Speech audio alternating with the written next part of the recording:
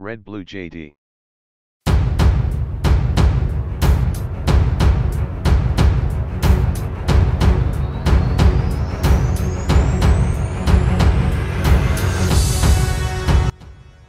ndabasuhuje nitwa david kayiranga umupolisi yatunguwe no kubona inzoka ifasha umushoferi gutwara imodoka mu buzima bwacu bwa buri munsi hari ibyo ushobora kumva ukumva biratangaje cyane nko kumva imbwa itwaye imodoka nko kubona inka itwaye moto cyangwa se n'ibindi bitandukanye cyane ushobora kumva ukumva biratangaje. Uyu munsi ngufitiye inkuru ivuga ku mupolisi watunguwe no kubona inzoka ifasha umushoferi gutwara imodoka. Bikunze kuvugwa ko abantu batari bake bakoreshwa n'imbaraga zidasanzwe. Bamwe bakabyemera abandi bakabihakana. Ariko noneho mu minsi yashize hatahuwe umugabo utwara imodoka ye ari hamwe n'ikiyoka. Ubwo umupolisi yahagarikaga imodoka kubera umuvuduko yatunguwe no kubona umushoferi ari hamwe n'inzoka nini cyane imugendagendaho. Akubitwa n'inkuba abura uko abaza ibyangombwa by'imodoka ndetse n'ibiranga umushoferi. Umwe mu bashoboye kumenya uyu mushoferi uzwi ku izina rya karisite oyango yavuze ko uyu mushoferi ari umuherwe mu rwego rwo hejuru ariko akomeza avuga ko nawe bimutunguye kubona agendana n'inzoka mu modoka ye. Ati birashoboka ko n'ubutunzi afite ariho bukomoka.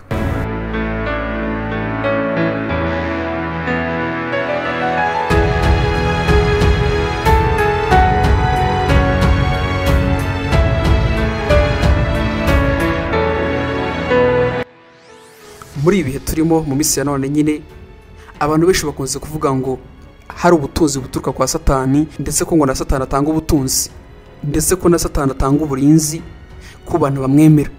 Maze akabaha igitinyiro n'ubudahangarwa ku nzego zitandukanye. Inzoka ni imwe mu nyamaswa ziri mu bwoko bw'ibikururanda igira amacandwe yuzuyemo ubumara. Inzoka yuje ubuhanga butangaje. Amakenga kwihisha komora uruguma no kwiyuburura.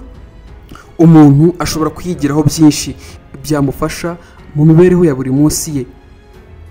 Inzoka igira amakenga kuba iba hagati y'abanzi. Tuzi ko igihe yashokaga eva nk'uko basoma bibiliya babivuga agacumura hahise havuka urwangano hagati yayo n'umuntu. Ni imyemerere imwe n'imwe iyo ngiyo. Iyo ngo ayitanze kuyibona arayica na yo yamutanga ikamurahirira ahandi.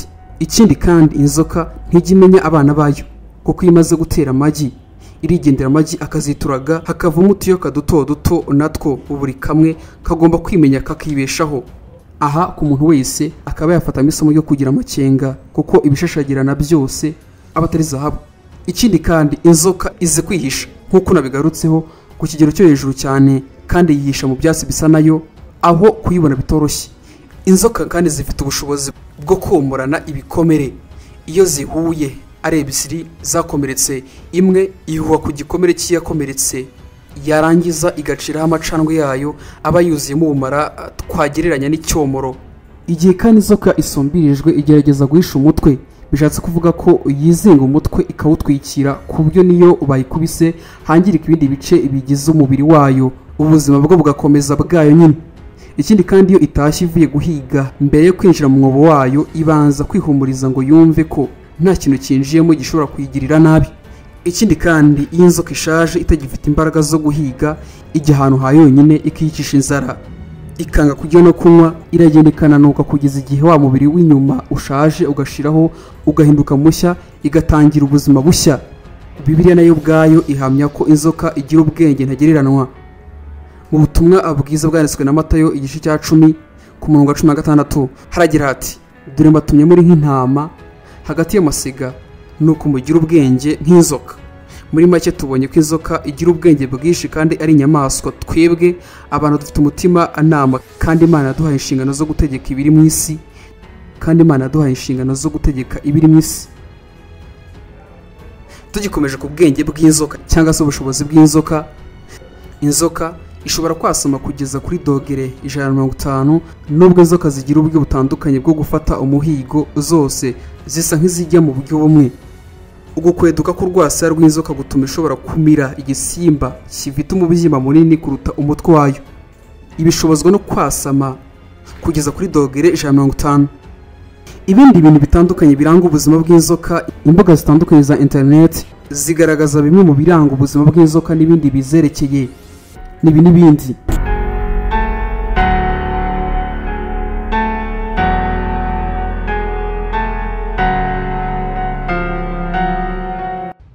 inzoka ni indyanyama zirya udusimba twinshi turimo imiswa imbeba inyoni ibikeri n'ibindi bikururanda inzoka itera amagi nk'uburyo bwayo bwo kororoka ariko hari n'amwe mu moko yazo abyara. Inzoka yiyuburura hagati y'inshuro eshatu n'esheshatu mu mwaka. Izi kugenzura ubushyuhe n'ubukonje mu mubiri wayo. Mu mbeho yota izuba igihe hashyushye ikaruhukira mu gicucu. Inzoka ntihekenya ahubwo imira ikiriye uko cyakabaye. Amatwi y'inzoka aba imbere ntigira amatwi inyuma. Ku isi hose ku isi yose hariho ubwoko busaga ibihumbi bitatu bw'inzoka. Ururimi rw'inzoka ni rwo nyine rufasha inzoka kunukirwa. Wowe wifuza guhaha ibikoresho byiza bya elegitoronike kandi byizewe ukanahabwa garanti ihagije ukagabanyirizwa kugera kuri makumyabiri n'icyenda ku ijana yose gana simati kiriki limitedi basange mu mujyi aho bakorera cyangwa uhahire kuri webusayiti yabo ubigezweho ku buntu aho uri hose. Jya kuri wa eshatu akadomo simati kiriki limitedi akadomo sitowa uhahireho ibyo ushaka byose. Ushobora guhaha mudasobwa ukihahira kamera z'umutekano agiseswari zose za mudasobwa ndetse n'ibindi byose wifuza bya elegitoronike ukagabanyirizwa makumyabiri n'icyenda yose ku ijana. Aho babera inkwakuzi rero ni uko igikoresho cyawe cyose kigize ikibazo bakigukorera maze kigasubira bushyashya kompiyuta zose barazikora ku giciro cyiza cyane. Ikirenze ibyo bagufasha gutumiza ibyo wifuza byose mu mahanga bikakugeraho mu kanya nk'ako guhumbya. Ngaho ku bindi bisobanuro bahamagare kuri zeru karindwi umunani gatatu gatanu umunani gatanu gatandatu gatanu gatanu. Ubundi wihahire byiza kandi byizewe ku giciro kikunogeye. Simati kiriki limitedi zimwe mu nzoka ziba mu mazi zihumekera mu ruhu. Kimwe mu zibashisha kwibira mu mazi kure. Inzoka zica abantu ibihumbi ijana buri mwaka. Kugeza ubu bivugwa ko inzoka zica abantu ibihumbi ijana buri mwaka. Harakarwa ko muri Brazil. Abaturage babujijwe kujyaho. Kabamo nibura inzoka eshanu kuri metero hari inzoka zigira imitwe ibiri. Umwe ushobora kurwana n'undi. Umwe irwanisha n'undi irisha. Inzoka icumi za mbere zica kurusha izindi ziboneka muri Australia. Ahari ubwoko busaga ijana na mirongo ine bw'izikaze kurusha izindi ku isi. Inzoka kandi ziboneka hose ku isi. Usibye muri Antarctica, Iceland, Ireland, Greenland na New Zealand. Inzoka zifite ububasha bwo kuba ahantu hatandukanye mu mazi mu mashyamba mu butayu n'ahantu hari ibyatsi byinshi. Anaconda ni ubwoko bw'inzoka zitagira ubumara ziba muri amerika y'epfo. Izi nzoka zishobora kugira metero eshanu z'uburebure. Python ni inzoka zishobora kugira uburebure bwa metero umunani n'ibice birindwi zikaba ari zo nzoka ndende ku isi. Abanyamerika basaga mirongo itanu ku ijana batinya inzoka kuruta ikindi kintu cyose ku isi. Inzoka ntigira ubushobozi bwo guhumbya n'iyo isinziriye amaso yayo aba afunguye. Abakomando bo muri lebanoni bajya inzoka nzima umuco ugaragaza ubuhangange bwabo. Inzoka ishobora kumara imyaka ibiri itararya urutirigongo rw'inzoka rugizwe n'utugufwa turi hagati ya magana abiri na magana ane.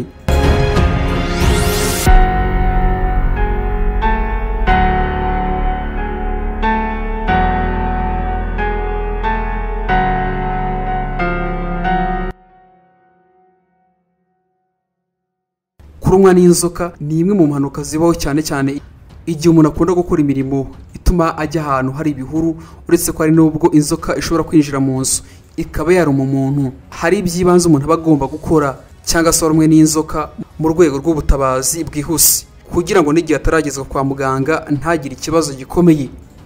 Ubundi hari ibiranga umuntu warumwe n'inzoka bitewe n'ubwoko bw'iyamurumye. Muri rusange ibiranga umuntu warumwe n'inzoka ikamushyiraho ubumara ikamushyiramo ubumara. N'ibi n'ibindi. Hari utwenge tubiri tuba tugaragaza aho inzoka yarumye. Hari ukubabara aho yarumye hakabyimba ubundi hagasa n'ahatukura hari n'ibindi biranga umuntu warumwe n'inzoka bishobora kugaragara mu gihe cy'isaha cyangwa nyuma y'isaha cyangwa nyuma y'amasaha runaka bitewe n'ingano y'ubumara yamushyizemo. Muri ibyo bimenyetso bishobora kugaragara inyuma y'isaha cyangwa nyuma y'amasaha harimo kugira isesemi kuruka kuribwa mu nda ndetse no gucibwamo. Hari kandi n'ibindi bimenyetso bishobora kugaragara harimo kugira isereri umuvuduko w'amaraso uri hasi cyane kuva amaraso guhumeka bigoranye ihindagurika mu gutera k'umutima. Iyo umuntu arumwe n'inzoka ntavurwe biba bishobora no kumutwara ubuzima bwe. Ariko icyiza ni uko hari ubuvuzi yabona byihuse. Igihe arumwe n'inzoka nyine akajya kwa muganga. Ariko na mbere yo kugera kwa muganga hari uko bamufasha. Bavuga ko icya mbere wafasha umuntu warumwe n'inzoka ari ukumushyira ahantu agatuza. Kuko gukomeza yikubaganya byihutisha ubumara ukamuryamisha agororotse. Ikindi ni ukumwambura impeta isaha yo mu kuboko n'ibindi yaba yambaye bishobora kugorana kubikoraho mu gihe abyimbiwe bitewe no kurumwa n'inzoka. Mu gihe bishoboka ushobora kumwogereza aho yarumwe ukoresheje umuti ugenewe kwica udukoko mikorobe igihe ataka avuga ko ababara cyane ushobora kumuha ikinini cya parasitamoro gusa ariko nanone ukirinda kumuha asipurine kuko ngo ishobora gutuma uwarumwe n'inzoka ava amaraso cyane. Birabujijwe gupfuka aho umuntu yarumwe n'inzoka cyangwa se kuhashyira ibintu nka barafu amavuta n'ibindi. Birabujijwe kandi guha inzoga umuntu warumwe n'inzoka. Bavuga ko hari n'akabuye k'umukara gakoreshwa cyane muri afurika kuko ariho kahereye. Nyuma kakaza kujyanwa mu burayi kajyanwa n'abapadiri bera. Gukoresha akabuye k'umukara kanyunyuza ubumara.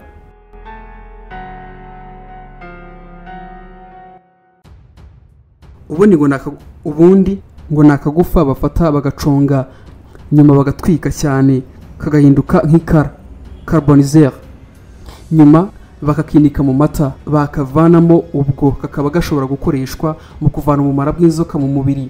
Ako kabuye gashyirwa aho inzoka yarumye umuntu cyangwa se agasimba kitwa scorpio n'izindi nyamaswa zigira ubumara. Uko ako kabuye gakoreshwa bakarambikaho umuntu yarumwe n'inzoka.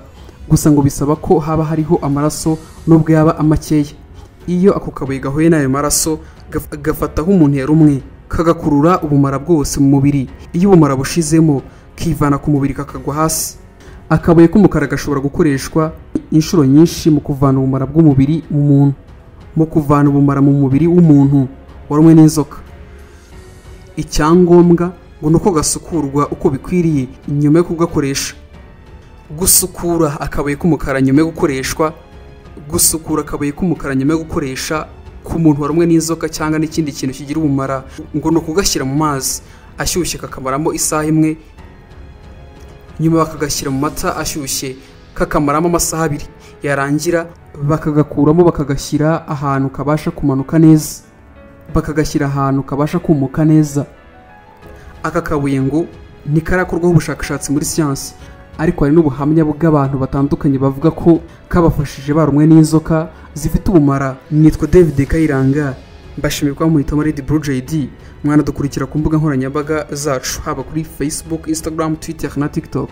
Hose twitwa redi abacuruzi bafite ibicuruzwa na serivisi nziza ariko bafite ikibazo cy'uko abantu benshi batazi ubucuruzi bwabo. Hari icyo wakora ibihumbi n'ibihumbi by'abanyarwanda bakarara bamenya ibikorwa byawe. Muri red blue jd bakwereka uko ubigenza ubucuruzi bwawe bukamenyekana kandi n'abakiriya bakarushaho kukwegera no kukwizera. Bafotora ibikorwa byawe bagasobanura ubuziranenge bwabyo bakanabimurikira abakiriya. Bafotora abageni bakanababikira videwo z'ubukwe bwabo kuri YouTube ku buryo nta kibazo cyo kongera kubura amashusho cyabaho. Abaririmbyi babakorera amashusho y'indirimbo zijyanye n'igihe bakanabafasha kumenyekanisha ibihangano byabo. Abantu basobanutse bamaze kumenya ibyiza byo gukorana na Red Blue JD bakorera munsi y'isoko rya Kimisagara werekeza Nyabugogo. Wahamagara kuri 0788 36 53 55 byigeze bikubaho kwitabira ibirori.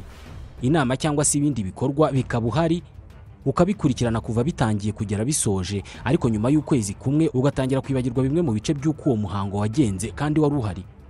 Niba urimo kureba aya mashusho ni uko udashobora kwihanganira kureba amashusho no kumva amagambo atari meza. Turi miliyari zirindwi z'abantu kuri iyi si. Abarenga miliyari enye muri twe dukoresha interineti buri wese muri twe arihariye. Ateye ukwe afite ibyo akunda ku giti cye adahuje n'undi uwo ari we wese.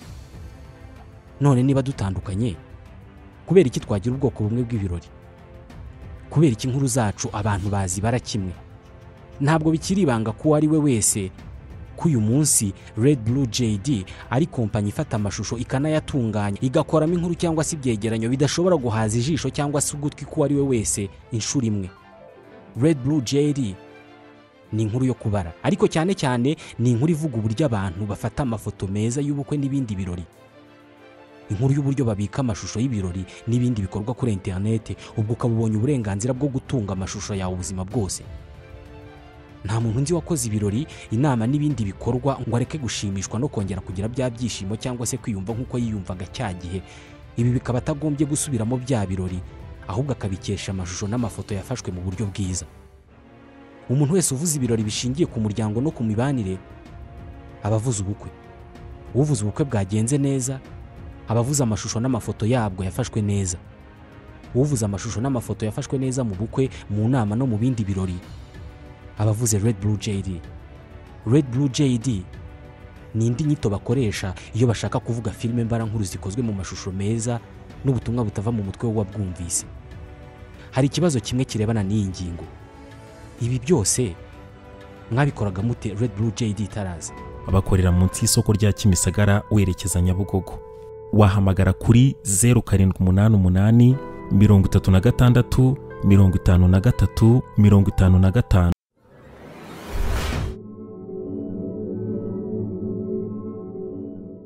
Red Blue JD.